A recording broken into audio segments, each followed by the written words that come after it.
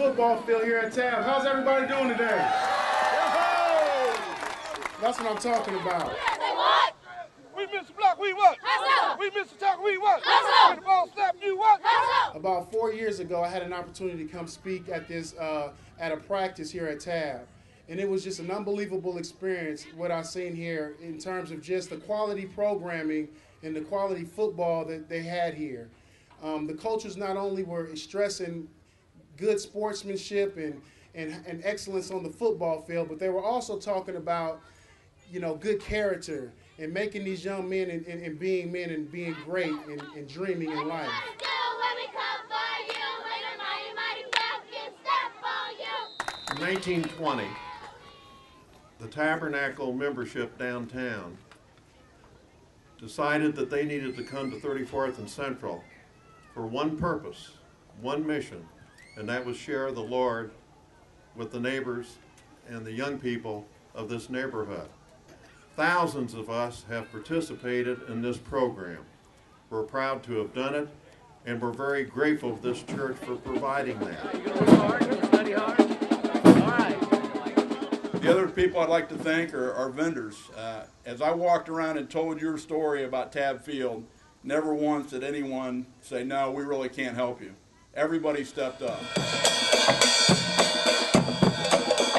I'm sure most of you do not know this, and I, I had to go get the proof, but uh, I'm a veteran of TAB football. And here's the picture to prove it.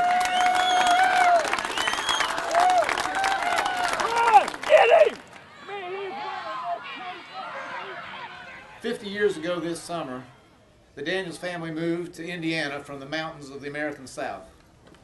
Fifty years ago this week, I enrolled in grade school. And 50 years ago this month, our family came to Tabernacle Presbyterian Church, which has been our church home ever since.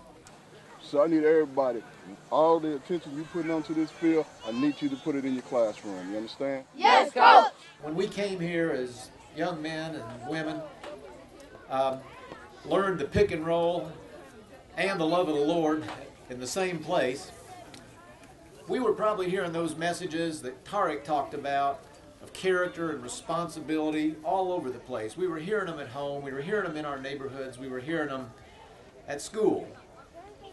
Uh, these days, not all young people are that lucky. And this program and that field and the God loving people who give of themselves to make programs happen here, that may be the first place. That may be the first place that these young people learn that there's a God who loves them. Amen. Get it up high, get it up high. And so I just am so proud on behalf of the people of TAB to welcome everybody here today. And uh, on behalf of Pastor John and all our fellow church members, uh, to rededicate this field officially. We rededicate this field and ourselves to the glory of God and to the betterment of this city that we love. Everybody understand?